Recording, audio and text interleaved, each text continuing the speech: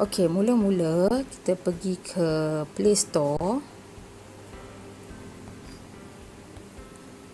Okey, kita type sini uh, Google Meet.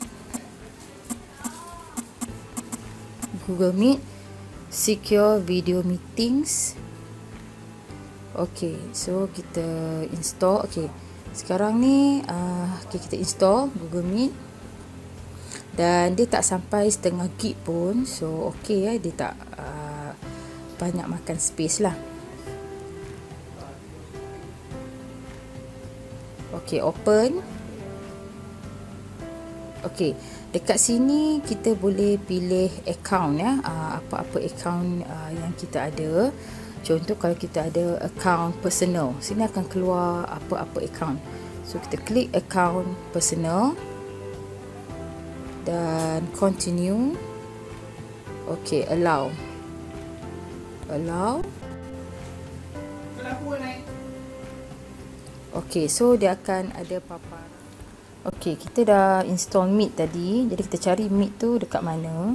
Uh, ada meet dekat situ kan? So maksudnya kita dah install meet dalam tu. Okey contohnya kalau ada link ya Google Meet kita klik Google Meet kita boleh pilih account mana-mana pun boleh ya apa-apa account personal ke account MOE sekolah ke apa-apa account kita pilih Okey dan kita akan dapat uh, muka kita kat sini.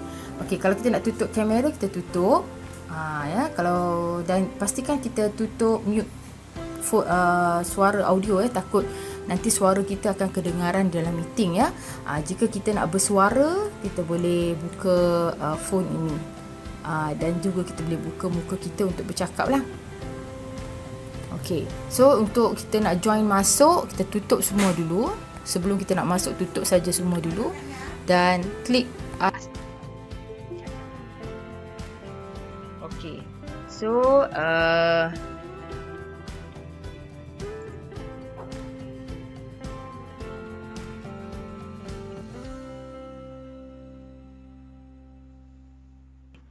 Uh, sini untuk suara dan sini untuk buka nampak muka kita dekat situ.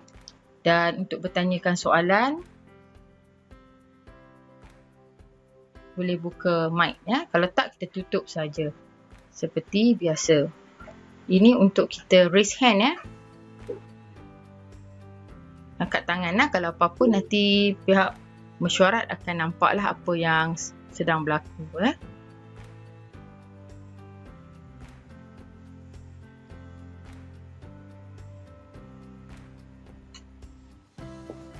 Bila dah habis meeting ya uh, ibu bapa boleh klik button merah. Uh, button merah ni menunjukkan kita akan keluar daripada meet lah.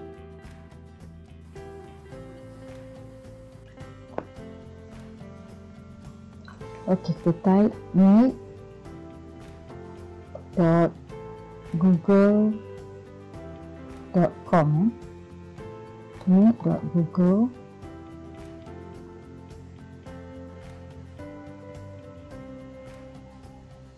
com. Okay, so dia akan dapat paparan macam ni lah. Akan ada enter a code ataupun link. Uh, Jadi kita boleh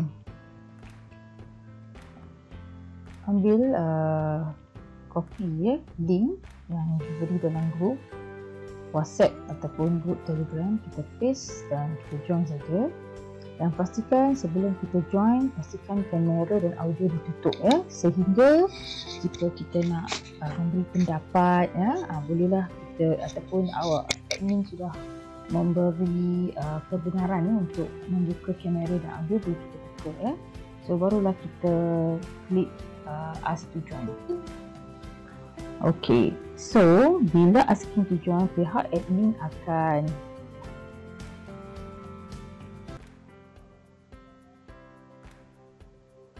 So pihak admin akan admit ya. Ha, jadi kita dapat masuklah di dalam uh, ruangan ini. Okay, so apabila meeting dah habis, okay, ini untuk kita kamera buka dan audio ya. So, jadi kita tutup dulu.